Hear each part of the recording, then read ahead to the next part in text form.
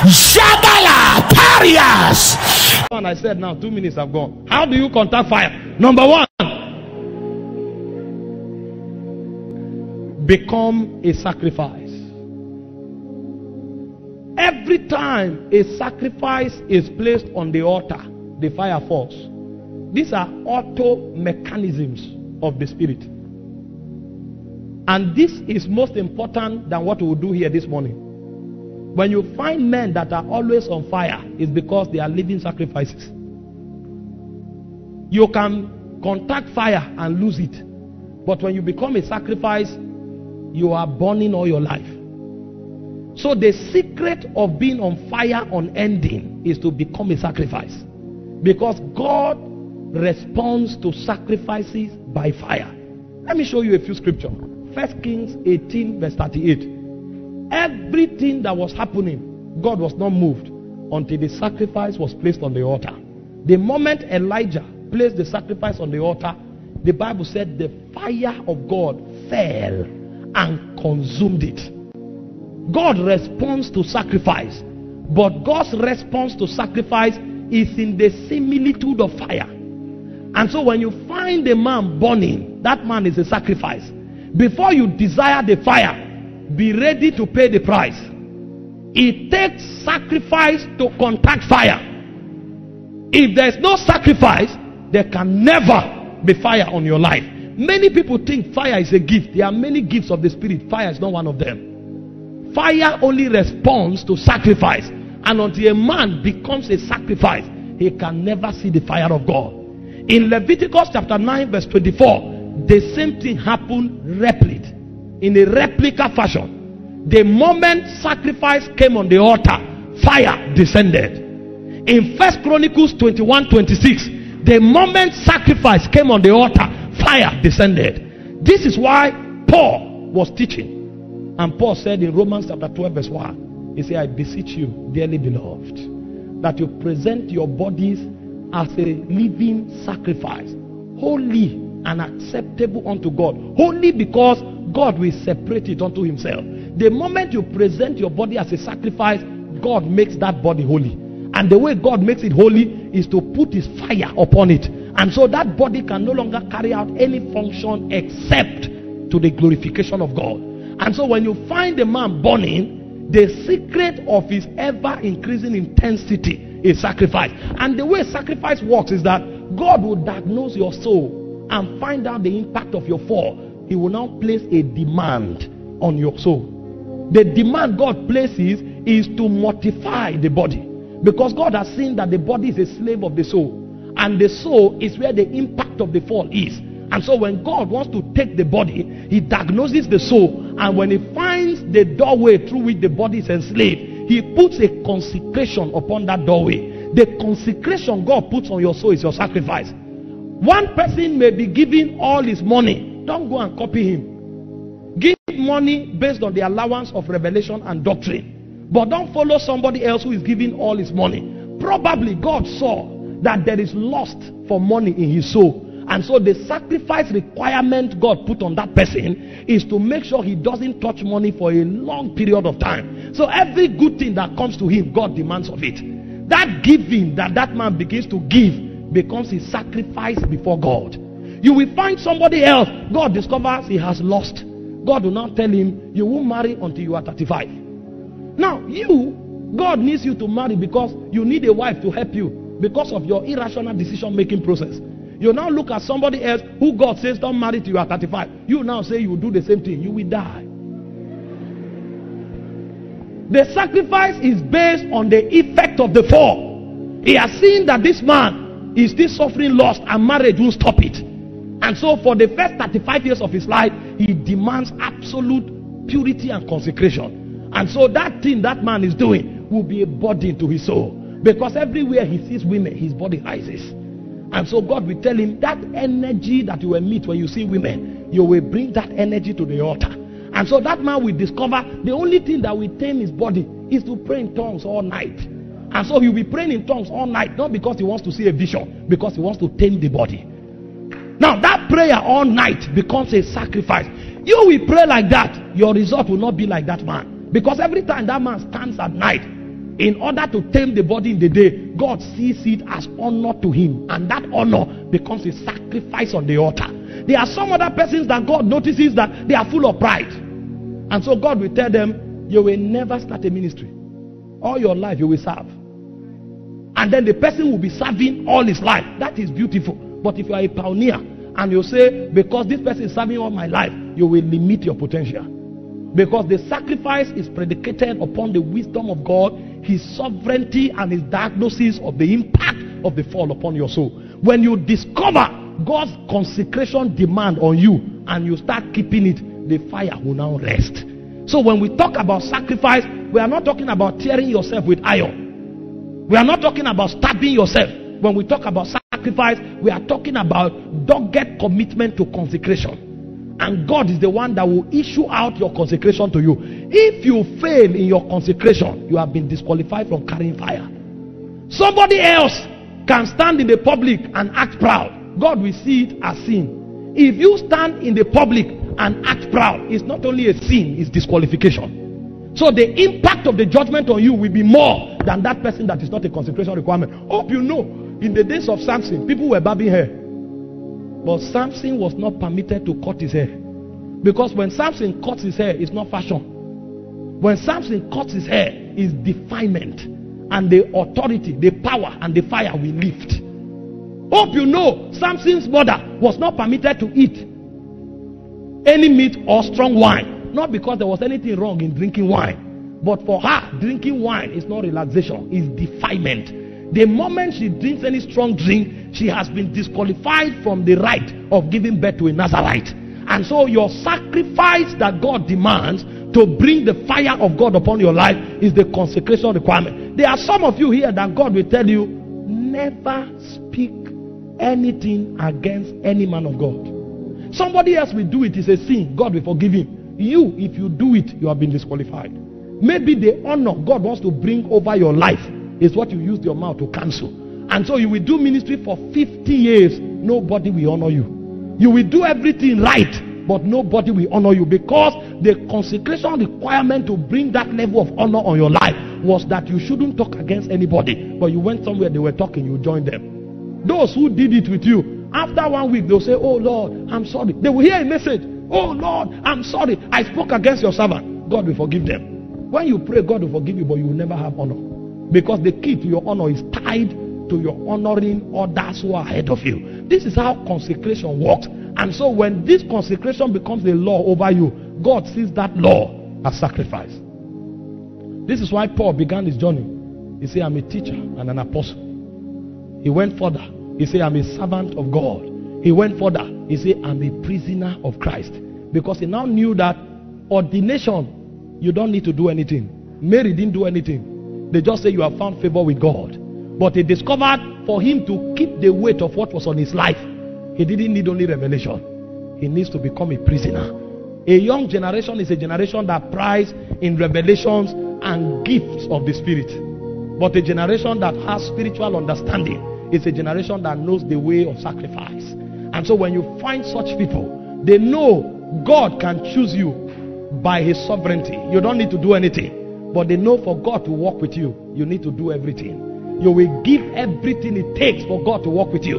You don't need to do anything for God to choose you. God will decide to choose you. That's why Judas Iscariot did nothing but for you to remain with God. For God to walk with you and for God to rest upon you, you will do everything. And everything is called sacrifice. It's a consecration requirement. There are many persons that have great graces. For those of you who have been Christians for 10 years, you know some people that gave their hearts to Christ and began to prophesy from that day.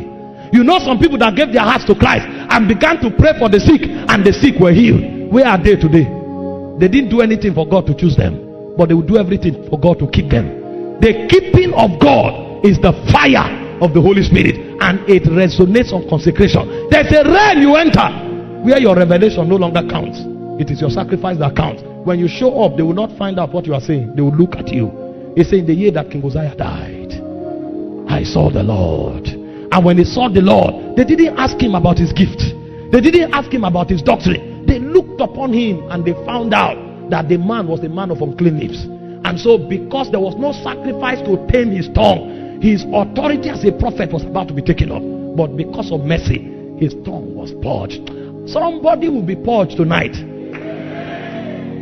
And the way you will be purged is that those consecrations you violated three years ago, God will reenact it.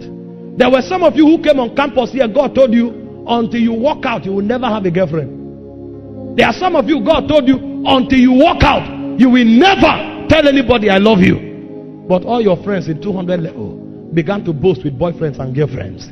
They began to change ribbons.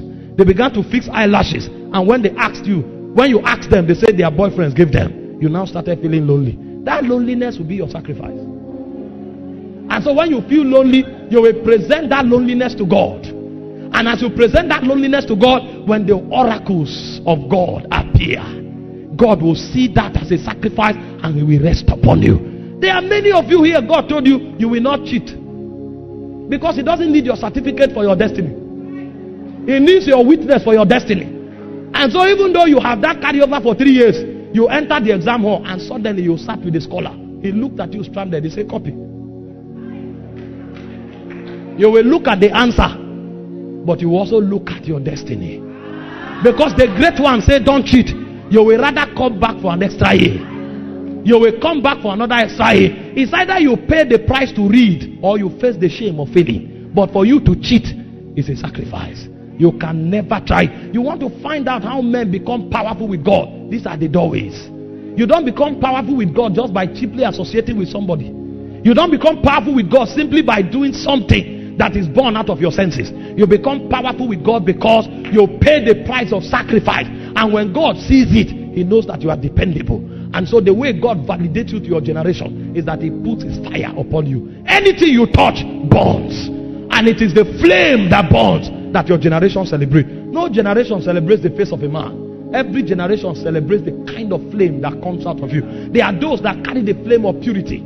There are those that carry the flame of power. There are those that carry the flame of influence. There are those that carry the flame of gifts of the Spirit. God will keep burning upon them, and their generation will surround them celebrating. You want to carry fire, you must make up your mind to accept the demands of sacrifice. The second way to carry fire is by hunger for God. Hunger. Hunger. You see, as the deer panted after the waters, so my soul longeth after thee. In a dry and in a thirsty land where no water is.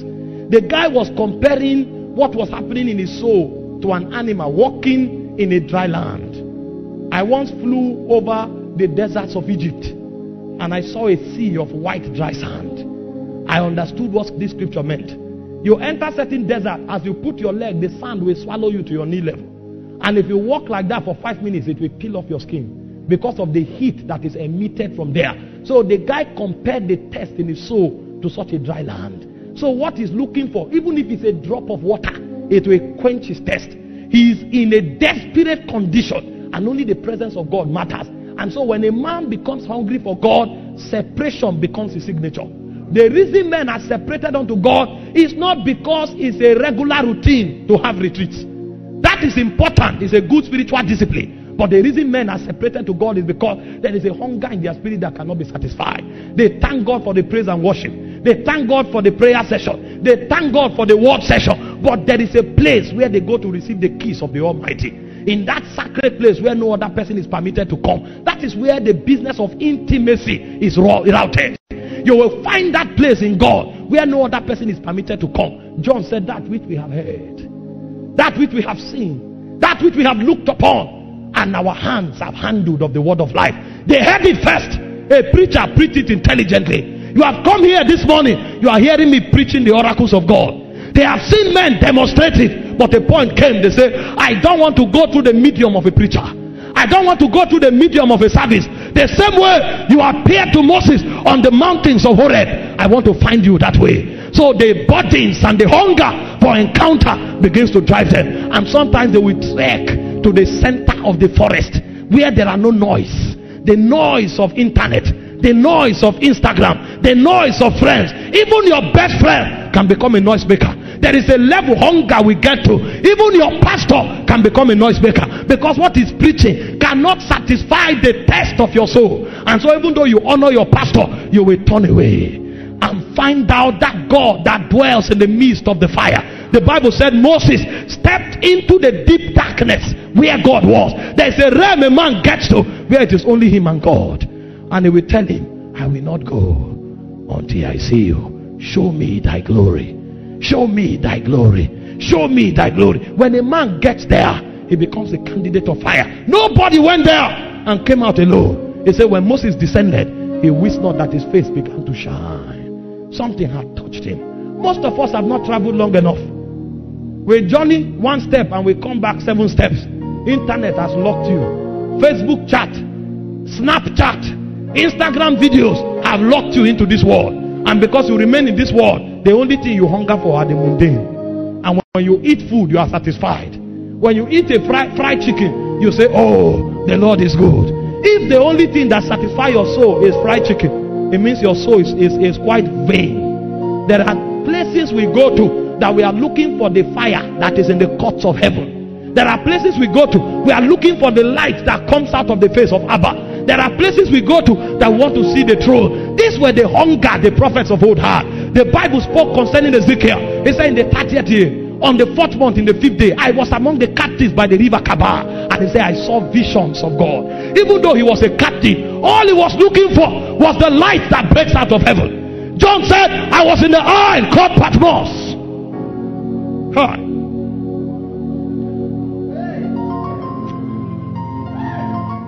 Ah. What did the fathers know? He was in an island. They sentenced him for death. But even with death sentence, his hunger could not be tamed. A man was rejected by society. Do you know what it means for society to reject you? Get out! We don't need you anymore. It didn't matter what everybody said. His ministry was taken from him, but he desired God more than ministry. This is not the story men tell today that is not ministry. That is not what we are saying. The guy was kicked out of his ministry and they didn't just kill him. They tried to kill him when they couldn't. They threw him to an island to die. But even while he was in the island, he said, I was in the spirit on the Lord's day. There's a place I stand where nothing matters. I was in the spirit on the Lord's day. I was in the spirit, and suddenly he said, I heard a sound. Ah. Ah. Oh Lord, baptize us with hunger. Ah. Ah. Ah. Hallelujah.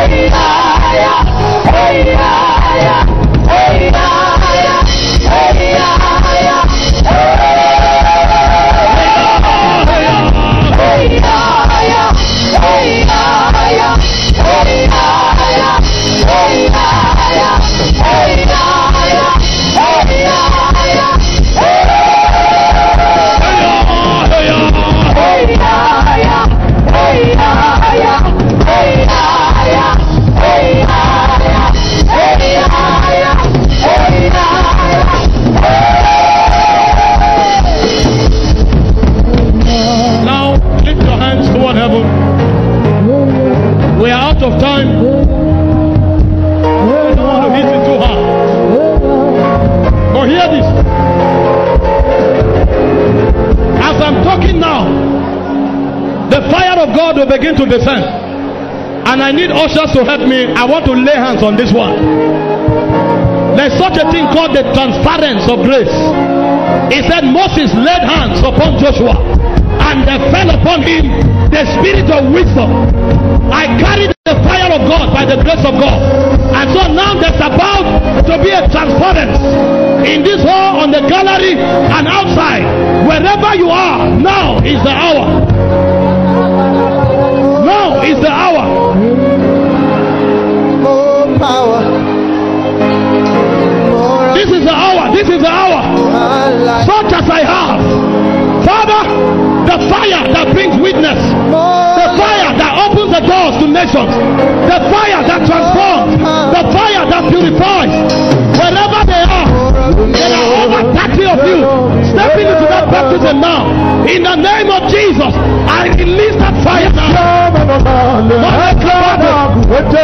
Veragada, Veragada.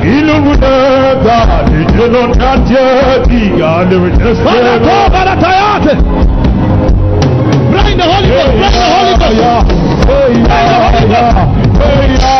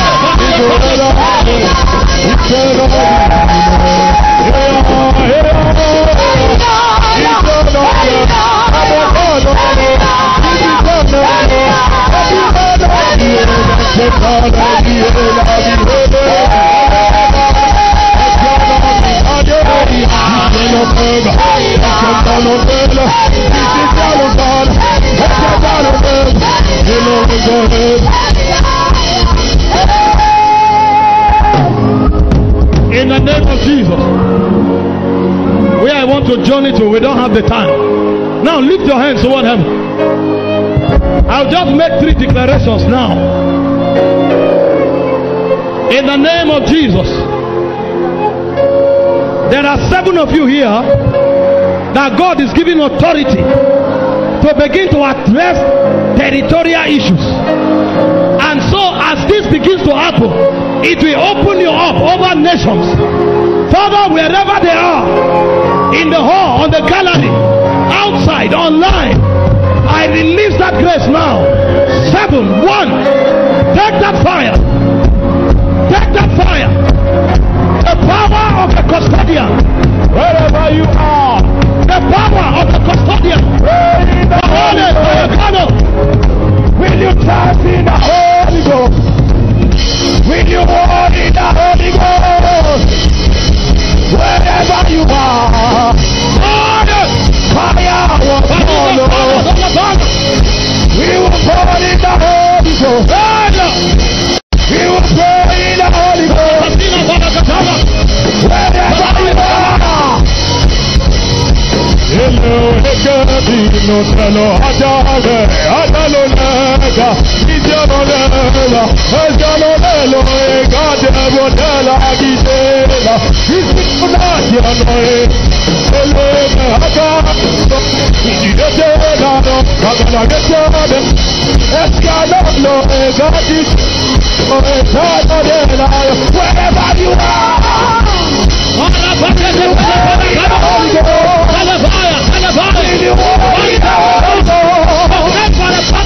The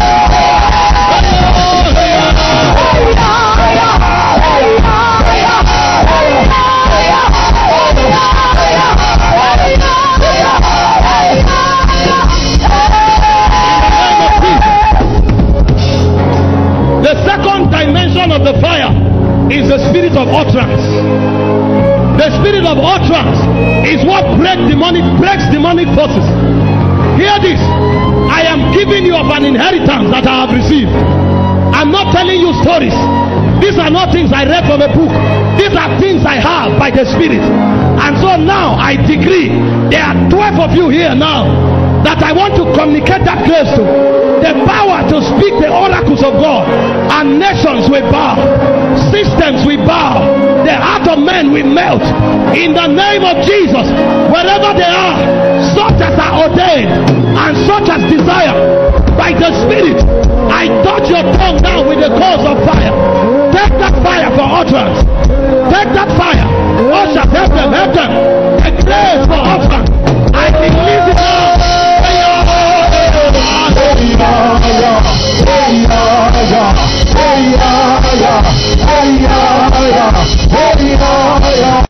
In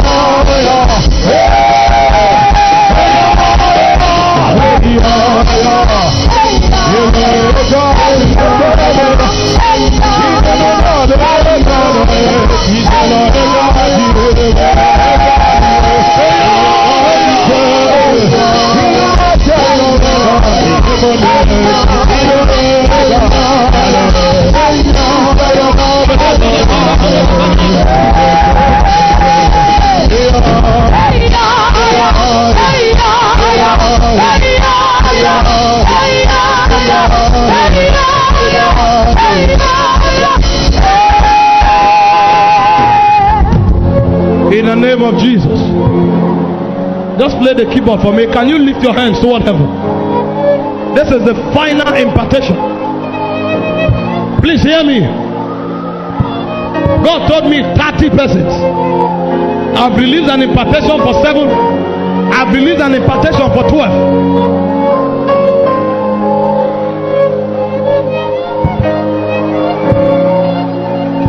Now there are 11 persons. Hear this.